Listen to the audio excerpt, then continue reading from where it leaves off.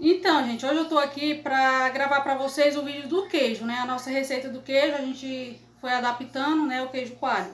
Foi adaptando do jeito mais fácil possível. E se você seguir o passo a passo, você não vai ter dificuldade nenhuma. É o jeito mais fácil que a gente encontrou para estar tá fazendo o queijo. Sim, para você fazer um quilo de queijo, geralmente são utilizados 10 litros de leite, tá?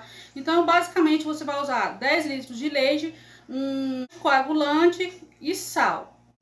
Então, o primeiro passo, você vai coar esse leite. Eu uso aqui, ó, tem um coadorzinho de pano exclusivo para estar tá coando leite, tá? vou coar 10 litros de leite. É necessário coar, gente, porque, assim, sempre vem alguma impureza, né? Algum pelinho, alguma sujeirinha que cai no leite na hora que tá tirando, né? Então, é inevitável isso daí. Pra você fazer com leite de caixinha, outro tipo de leite, gente, eu realmente não sei se funciona, eu nunca fiz. Eu geralmente faço com esse leite in natura, né? Do jeito que tira da vaca. Já coei o leite aqui, ó. Eu vou usar esse coagulante. São duas tampinhas para 10 litros de leite, tá? Ó. Esse coagulante você encontra em qualquer supermercado. Então, duas tampinhas, tá? Você vai acrescentar um pouquinho de água só, ó e você vai pôr no leite. Aí você dá uma mexidinha assim, ó, pra misturar bem. Feito isso aqui, pessoal, você vai deixar esse leite descansar por 30 a 40 minutos, que é o tempo do coalho fazer o efeito no leite. Bom, pessoal, olha, passado aí meia hora, né? Olha como o leite ficou. Ó, ele ficou assim, tá vendo, ó? Aí eu vou cortar esse leite, ó, vou quebrar ele bem. Que é pra ele soltar o soro, tá? Aí vai separar, essa massa vai, né, descer pro fundo do, do recipiente e o soro vai subir. Aí fazendo isso aqui, gente, ó, quebrando desse jeito, se eu for tentar com ele agora, ele vai passar todo, né, na, na peneira, no, no que eu for utilizar. Então, se eu deixar ele descansar, ele separar, essa massa vai unir. Então, na hora de coar, ela vai estar tá mais firme. Vai coar mais rápido, porque a parte que geralmente as pessoas têm mais dificuldade é essa aqui, de coar, tá? Tirar o soro. Então, quando a gente deixa ele descansando aqui mais um tempo, ele vai ficar bem mais fácil. Vai facilitar bastante o teu trabalho. Vou deixar aqui uma meia hora. Bom, gente, agora, ó, se passou 30 minutos, né, meia hora, aí o leite ficou assim, ó mexer aqui para vocês verem como ficou. Olha, a massa desceu para baixo, pro fundo, e o soro ficou em cima. Então, como a gente cria porco também, esse soro é utilizado, tá? Pra gente pôr no alimento dos porcos. O que, que eu vou fazer aqui agora, ó? Vou derramar esse soro. Olha a massa como que ficou, gente. Aí ele vai ser passado por uma peneira. Eu utilizo uma peneira assim, se você conseguir encontrar, gente, você que sempre faz queijo, vale a pena você investir numa peneira assim, que ela facilita muito o trabalho.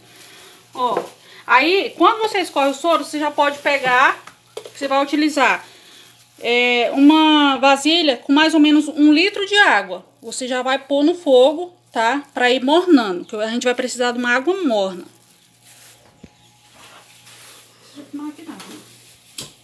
Aí, gente, a gente vai coar Agora, ó, pra ficar só a massa.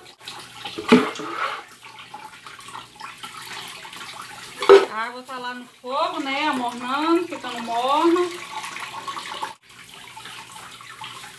Vai usar uma concha pra te ajudar, né, ó. O soro tá escorrendo tudo, ó. Olha como é rápido, como é prático o processo. Vamos acrescentar o sal. Uma maneira prática do queijo, uma dica ótima para o queijo ficar salgadinho assim por igual, não ficar uma parte mais salgada, outra sem sal. Eu acrescento, ó, ó a medida. Duas conchas dessas de sal. Coloquei aqui na vasilha que tava, né, o leite. A água já tá morna, gente, bem morna, mas eu consigo pôr a mão na água. Ela não tá quente, fervendo, tá vendo, ó? Aí eu vou pôr aqui nesse sal. Vou mexer para dissolver. Ainda tem um pouquinho de soro, é normal. Depois que a gente vai tirar a maior quantidade possível do soro. Aí, gente, a massa tá assim, ó. Eu vou pôr aqui nessa água com sal. Vou começar a quebrar ela aqui. Eu vou utilizar a mão, olha. Quebrar a massa. Ela vai ficar salgadinha por igual. Gente, essa foi uma sugestão de vídeo de uma amiga minha, ex-vizinha lá de São Paulo, a Gerlane.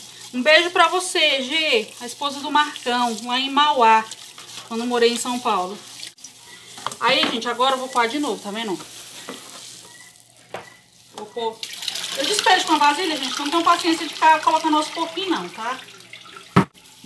Ó. Aí eu passo assim, gente, pra agilizar o processo.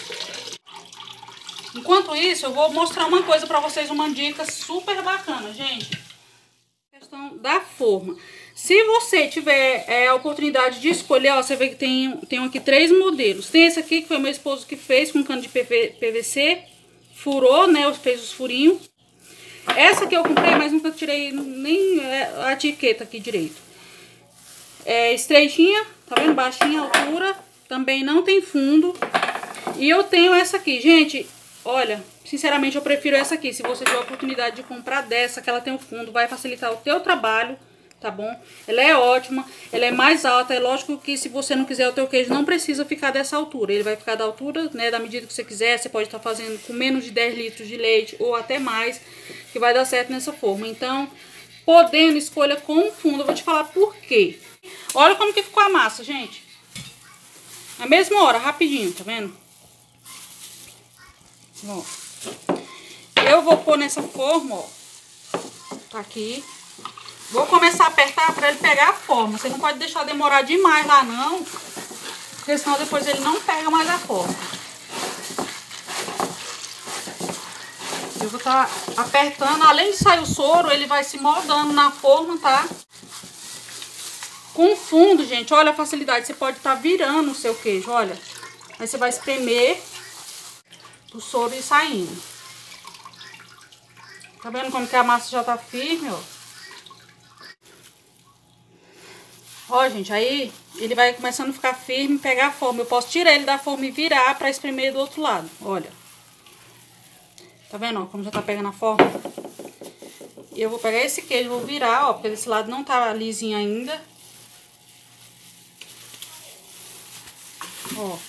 Vou pôr ele na forma e vou continuar apertando. Pra ele ficar bem bonitinho.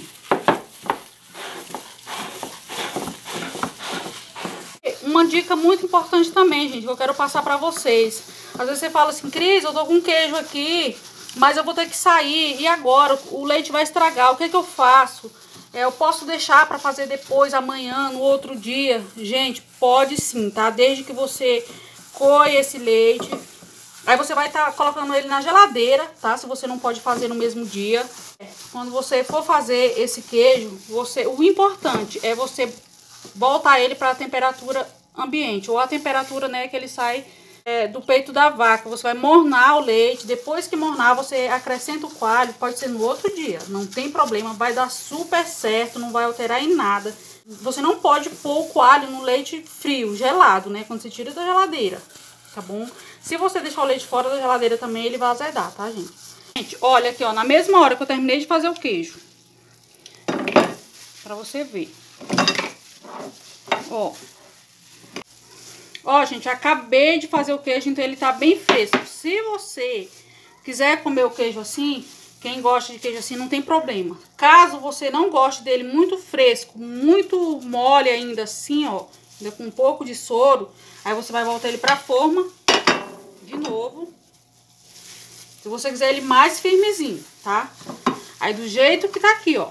Você vai pôr um paninho aqui em cima, vai levar pra geladeira. Pode deixar o resto do dia, quando for no final da tarde, ele vai estar tá bem mais firmezinho. Vou até mostrar pra vocês alguns ali que eu já fiz ontem, que estão embalados já na geladeira. Eu vou cortar esse aqui pra vocês verem como ficou. Ó, gente. Então, ele vai ficar assim, ó. Acabei de fazer o queijo, tá? Ó. Tá fresquinho esse queijo. Pra quem gosta de queijo fresco, eu particularmente não gosto muito assim, tá? Eu gosto dele mais firme.